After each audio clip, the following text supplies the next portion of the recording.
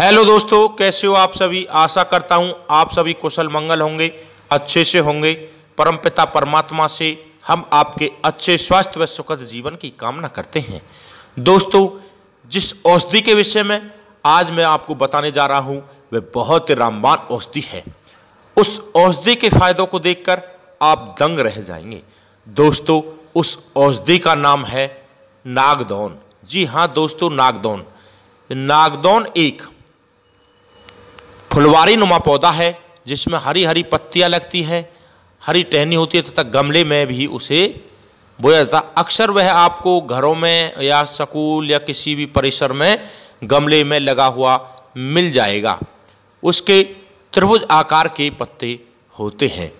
जी हाँ दोस्तों, उसके फायदों से आज मैं आपको परिचित कराऊँगा। उससे पहले आपसे कहना चाहूँगा, यदि आपने हमारे YouTube चैनल को सब्सक्राइब नहीं किया है तो हमारे YouTube चैनल को सब्सक्राइब करें, बेल आइकन के बटन को दबाएँ। जब भी मैं कोई नई वीडियो अपलोड करूँ तो उसकी जानकारी आपको तुरंत प्रभाव से मिल सके। दोस्तों, शुरू करते हैं नागदौन के फ़ायदे। जिन व्यक्तियों को लंबे समय से बवासीर की समस्या होती है, तथा हर स्थान पर उन्होंने अपना इलाज करा लिया है, परंतु उन्हें किसी प्रकार की कोई राहत नहीं मिली है। ऐसे व्यक्ति यदि नागदौन की पत्तियों को प्रातःकाल खाली पेट खाते हैं तो वह अपनी बवासीर की समस्या से बिल्कुल निजात पा सकते हैं। बवासीर के लिए रामबान औषधि का कार्य करता है नागदौन। दोस्तों, साथ ही इसके दूध को भी आप पी सकते हैं। इसका दूध भी बवासीर में रामबान औषधि का कार्य करता है। नागदौन को बवासीर नाशक व अर्शनाशक भी कहा जाता है।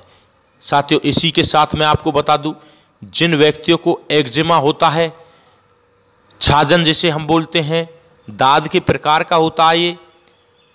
वो व्यक्ति यदि नागदौन की पत्तियों को डूंगर के पत्तों के साथ अच्छी प्रकार से पीसकर तथा अपने उन स्थानों पर लगाते हैं जहाँ उन्हें एक्जिमा व दाद जैसी समस्या होती है तो वह तकरीबन तीन से चार दिन में अपने आप में बहुत ही रिलीफ महसूस करेंगे कि उनके दाद व एक्जिमा जैसे स्थान बिल्कुल ठीक हो रहे हैं। धन्यवाद साथियों, यदि आपको जानकारी अच्छी लगी हो तो वीडियो को लाइक, शेयर एंड सब्सक्राइब ज़रूर करें। धन्यवाद।